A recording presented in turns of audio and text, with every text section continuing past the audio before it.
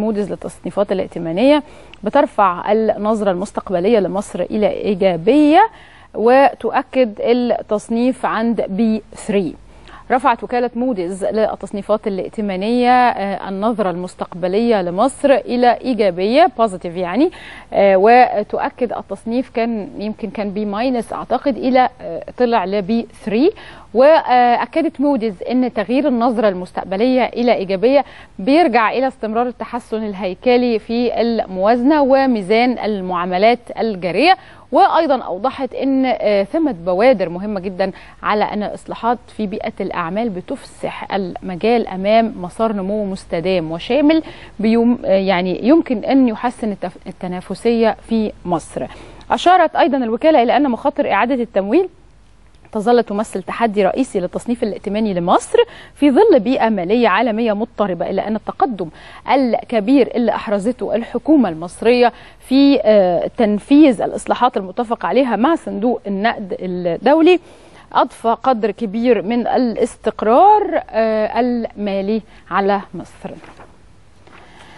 طيب معانا على الهاتف دكتور هشام إبراهيم أستاذ التمويل والاستثمار بجامعة القاهرة. يا دكتور صباح الخير.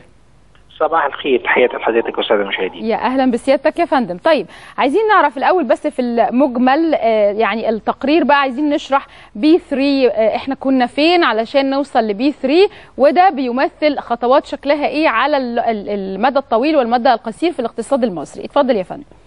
لا هو الحقيقة تم الابقاء على ذات درجة التصنيف لكن هو ما تغير هو النظرة المستقبلية للاقتصاد من مستقرة إلى إيجابية. وبالمناسبة ده التغير الأخير لأن الحقيقة سبق موديز فيتش وسبق موديز أيضا ستاندرد بورز غيروا النظرة المستقبلية للاقتصاد من مستقر إلى إيجابي.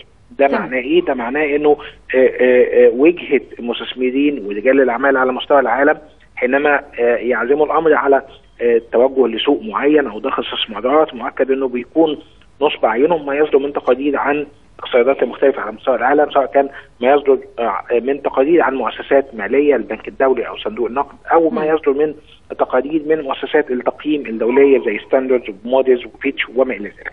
وبالتالي ده ده أمر جيد للغاية. الحقيقة ما جاء في حيثيات التغير النظرة المستقبلية هو زي ما حضرتك اشرت هو تحسن مؤشرات المالية العامة. إنه الحقيقة في ظل ضبط لعجز الموازنة العامة في ظل ضبط عجز الميزان التجاري كل ده بينعكس ايجابيا على تحسن مؤشرات الاقتصاد بيرفع معدل النمو الاقتصادي لدينا عدد من القطاعات اللي هي أصبحت بتدعم بشكل جيد النمو الاقتصادي سواء كان قطاع البترول والغاز أو قطاع السياحة اللي بدأ يتعافى تدريجيا. ودي كلها أمور بتصب في مصلحة خلق مزيد من فرص العمل تعزيز معدل النمو الاقتصادي ودي كلها أمور هامة بيتم تصديرها من قبل هذه المؤسسات.